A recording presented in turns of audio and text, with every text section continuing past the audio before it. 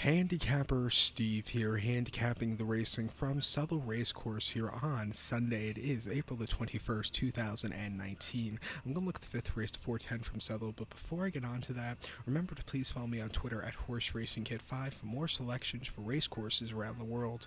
The fifth race, the 410, it is the Tolls Bet casino handicap. Class 4 handicap going for a purse of $14,500. Race for four year olds and upwards. Horses rate 61 to 80. Field of nine horses going 3,300 meters or 2 miles and 1 16th over the all weather fiber sand.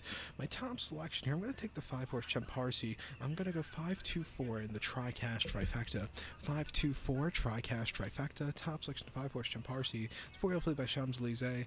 Um, Sam James gets the leg up for Grant Tuer. The horse's most recent out again. 2nd of April, Musselburgh.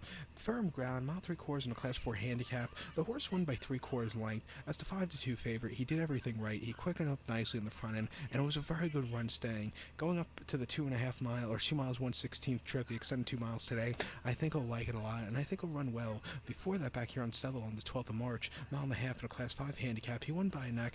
He had a little bit of wide posture, and, and he had to fight that day, but he got the victory. It was a, you know, very gritty performance. And then in Newcastle on 20th of February, a mile and a half in a class 4, he finished fifth by four and a half lengths, and he ran okay, but first off the break, probably the race, and then uh, back in early January in a mile and a half Wolverhampton class 5 handicap, he finished fourth by two lengths, and, uh, you know, he, he just, again, never got that good turn of foot. He likes the staying trip, I've noticed going through his running lines. He's going to get it again today. He's a good post draw, and uh, I think he can make it three in a row, so I'll take him. So to recount my selection for the fifth, the 410 from Southwell, going to go with the five horse Champarisi. I'm going to go 5 2 4 in the TriCash trifecta. So to all, and please follow me on Twitter at Horse Racing Kid 5